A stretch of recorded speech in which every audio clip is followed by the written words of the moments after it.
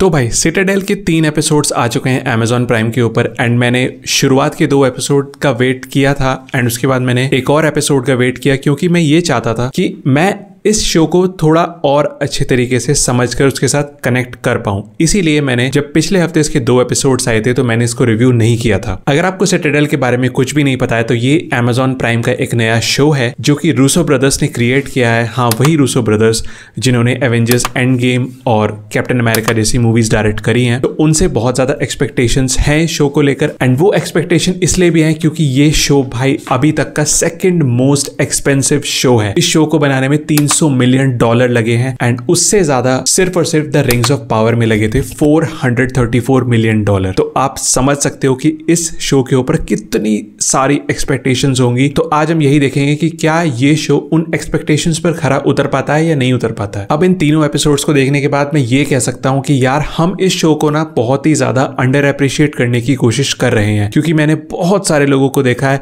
वो इस शो को बहुत ही ज़्यादा बेकार रिव्यूज़ दे रहे हैं एंड इसको बहुत ही ज़्यादा ट्रोल भी किया जा रहा है। बट आई थिंक वो भाई थोड़ा ज़्यादा हो गया। क्योंकि ये सीरीज़ यार उतनी भी बुरी नहीं है। तो सिटाडेल है क्या? सिटाडेल एक सीक्रेट स्पाई एजेंसी है, जो कि पूरी दुनिया में अपने कुछ ऑपरेशंस को परफॉर्म करते हैं एंड वो पिछले सौ सालों से ऐसा कर रहे हैं। लेकिन अब उनके सामने एक नई सिंडिकेट ऑर्गेनाइजेशन आ जाती है, जिसका नाम होता है मैंटिकॉर और वो इन सिटाडेल के सभी स्पाइस को खत्म करना चाहती है और उनसे कुछ बहुत ही ज़्यादा सीक्रेट इन्फॉर्मेशन निकलवाना चाहती है। तो इटली में एक मिशन में मैंटिकॉर सिटाडेल के सभी स्पाइस को मारने का प्लान बनाती है और उसको अच्छे तरीके से एग्जीक्यूट भी कर देती है। लेकिन उसी समय सिटाडेल के दो स्पाई एजेंट्स बच जाते हैं, जिनका नाम होता है मेसन और नाडिया लेकिन अब उनकी मेमोरी जा चुकी है। तो क्या अब उनकी मेमोरी वापस आ पाएगी और वो मैंटिकॉर से फाइट कर पाएँगे और अपनी सिटाडेल ऑर्गेनाइजेशन को बचा पाएँगे? ये है इस पूरे शो की कहानी। तो इस सीरीज़ में किस चीज़ ने काम किया है? सबसे पहले तो मैं कहना चाहूँगा कि भाई acting performances was A one भाई, सबकी एक्टिंग परफॉर्मेंसेज बहुत ही बढ़िया थी। अगर आप कैरेक्टर्स के साथ सही तरीके से कनेक्ट भी नहीं कर पा रहे हो तो फिर भी यार उनकी परफॉर्मेंसेस के दम पे वो आपको अपने साथ कनेक्ट करवा ही लेंगे। एंड स्पाई यूनिवर्स के अंदर हम इस तरह की स्टोरीज देख चुके हैं। स्टोरी के अंदर अभी तक मुझे कुछ ऐसा नया नहीं लगा है, लेकिन जैसे जैसे आप एपिसोड्स में आगे बढ़ते हो आपका जो कनेक्ट है कैरेक्टर्स के साथ, वो काफ़ी ज़्यादा डीप होता चला जाता है, क्योंकि आपको उन लोगों की मोटिवेशन पता चलने लगती है। और जब आप उन कैरेक्टर्स के साथ कनेक्ट कर जाओगे तो भाई तीसरा एपिसोड खत्म होने के बाद जिस ट्विस्ट पर वो एपिसोड खत्म होता है, उसके बाद तो यार आप और भी जानना चाहोगे इन सभी कैरेक्टर्स के बारे में। अब ये सीरीज़ भाई 300 मिलियन डॉलर में बनी है तो इसकी सिनेमाटोग्राफी और एडिटिंग और बाकी सारे जितने भी डिपार्टमेंट्स होते हैं, उससे एक्सपेक्टेशन तो बहुत ज़्यादा बढ़ जाती है लोगों की। एंड इस सीरीज़ ने यार, मैं कहूँगा, उन एक्सपेक्टेशंस पर 50-50 परसेंट परफॉर्म करा है। इसकी सिनेमेटोग्राफी बहुत ही बढ़िया है, बहुत ग्रैंड लगती है। एडिटिंग बहुत ही क्रिस्प है। सिर्फ़ 40 से 45 मिनट के एपिसोड है, जहाँ पर इससे पहले इसके एपिसोड्स होने वाले थे आठ और वो होने वाले थे एक एक घंटे के एपिसोड्स लेकिन फिर रूसो ब्रदर्स की एंट्री होती है और वो इस सीरीज़ के बहुत सारे हिस्सों को रीशूट करते हैं और फिर एपिसोड्स की लेंथ को 40 से 45 मिनट पर लेकर आते हैं। तो आप बोर होने का चांस ले ही नहीं सकते, वो आपको बोर होने ही नहीं देंगे। लेकिन एक चीज़ जो मुझे थोड़ी अजीब लगी वो ये है कि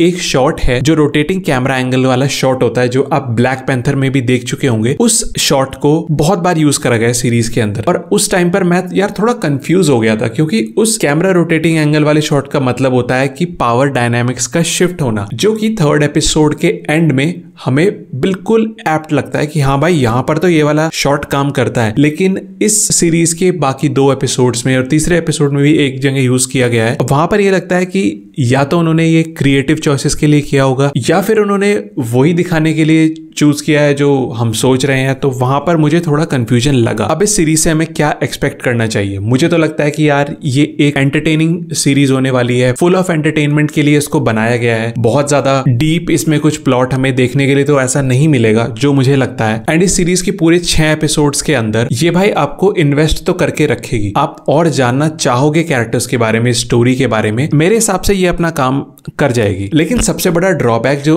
इस सीरीज़ के साथ है ना, वो अभी तक, वो ये है कि यार कैरेक्टर्स की जो मोटिवेशन है ना, वो हमें पता नहीं चलती है। एक के बाद एक हर एपिसोड में काफ़ी सारी चीज़ें पता चल रही हैं, लेकिन उसके लिए आपको पेशेंस रखना होगा। अगर आप ऐसे सीरीज़ या फिर ऐसे शो देखते हो जहाँ पर इंस्टेंटली आपकी कनेक्शन है, वो कैरेक्टर्स के साथ एकदम से बन जाता है तो यहाँ पर वो आपको देखने के लिए नहीं मिलेगा। इसी पॉइंट पर बहुत सारे लोग इस सीरीज़ को छोड़ सकते हैं। और हाँ क्या आपको पता है कि ये सीरीज़ एक ग्लोबल सीरीज़ होने वाली है। इसको मल्टीपल कंट्रीज़ के अंदर इसके स्पिन ऑफ़ आएँगे।